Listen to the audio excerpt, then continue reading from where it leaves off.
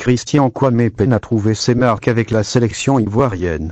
Et si c'était le moment pour Baumel de lancer le jeune Karim Konaté en lui donnant quelques minutes de jeu dans la camp? La Côte d'Ivoire sort d'un match frustrant contre la Sierra ce dimanche 16 janvier. Avec un match nul, 2-2, concédé en toute fin de rencontre, les éléphants de Côte d'Ivoire comptent 4 points en deux matchs avant d'affronter l'Algérie le jeudi 20 janvier. Offensivement, les Ivoiriens se sont créé un nombre important d'occasions mais le réalisme n'était pas au rendez-vous. En effectuant ses premiers remplacements à partir de la 72e minute du match, Baumel espérait sans doute plus de réalisme de la part de ses joueurs entrants. Mais que ce soit Amé Junior Forêt ou encore Christian Kwame, tous ont pêché dans le dernier geste et n'ont pas su marquer le but du break.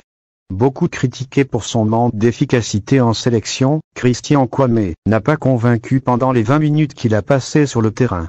Avec une occasion ratée et des appels peu tranchants, l'attaquant ne s'est pas mis en évidence.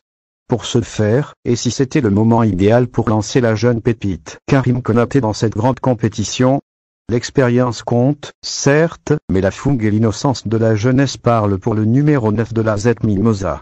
Le jeune buteur a l'avantage de maîtriser les pelouses africaines et sait se montrer à droit devant les buts.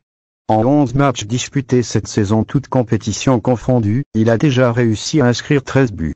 Au cas où elle venait à céder sa place lors du prochain match ou à la suite de la compétition, ne faut-il pas le lancer dans le grand bain? Pour plus d'informations veuillez s'abonner s'il vous plaît et laissez votre avis dans un commentaire.